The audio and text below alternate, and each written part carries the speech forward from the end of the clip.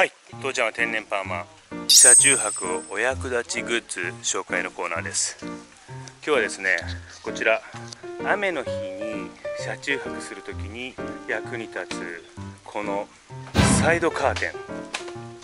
こちらサイドカーテン。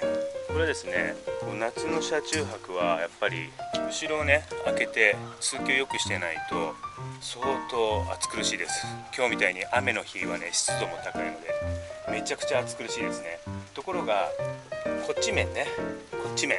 雨がザバザバ吹きつけてくるともうガンガン中に雨入っちゃうんですよ。この横側からブワーってね。なのでこの両サイドにカーテンをつける。たったこれだけで強い雨の日風が吹いたりしても吹き込むことなく快適に寝れると。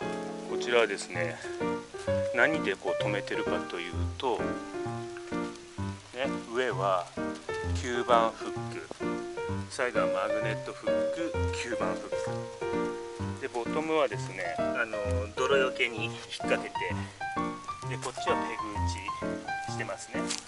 このようにちょっとね可愛いシャワーカーテンこれはニトリで見つけました。500円ぐらいだったかなこのシャワーカーテン。ちょうどサイズもいいサイズですね。このカーテンの張り出しの長さは自分で好みで調節できます。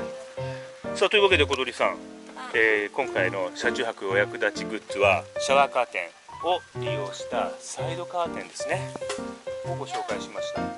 なんかこんなバコンってかぶせてテントみたいになるとかあんな大げさな組み立てとか必要ないです。マグネットとあの吸盤フックだけでポコポコポコっとつけられちゃいますんで超おすすめ。しかも1000円ぐらいで全部揃っちゃいます。快適グッズでした。